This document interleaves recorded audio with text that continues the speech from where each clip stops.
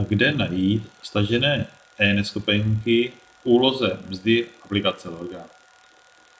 Stažené neschopenky najdete na nabídce 831. Při každém spuštění je kontrolováno, zda nejsou dostupné nové stažené notifikace, které by se přidali sem do této tabulky. V této tabulce se zobrazují notifikace, ta notifikace, neschopenky podle aktuálního filtru, který si můžete zvolit vlevo dole. Sice můžete zvolit všechny, vidíte, že mám zde 138 neschopenek. Další filtr je probíhající pro neschopenky, které ještě neukončily, ukončené neschopenky, neschopenky stažené z posledních 30 dní, neschopenky stažené za posledních 7 dní. A tady, bylo, tady je možnost zvolit si neschopenky, které aktuálně můžu přidat aktuální období do odchylek.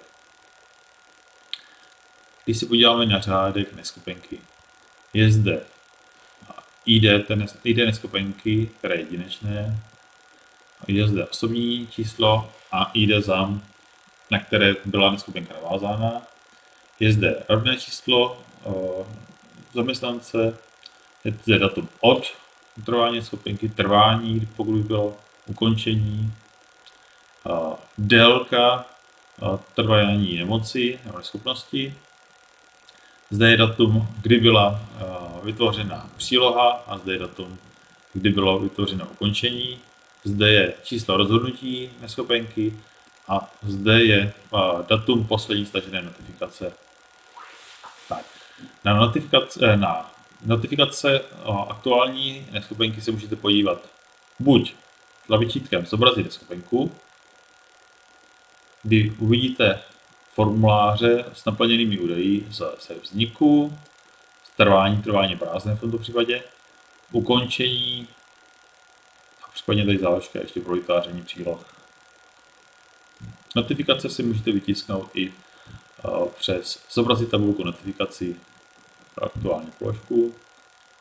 Vidíte, že byla zadána dvěma notifikacemi. Můžete si je vytisknout, podobně jako byste to provedli v úloze Lorga e-neschopenky klient.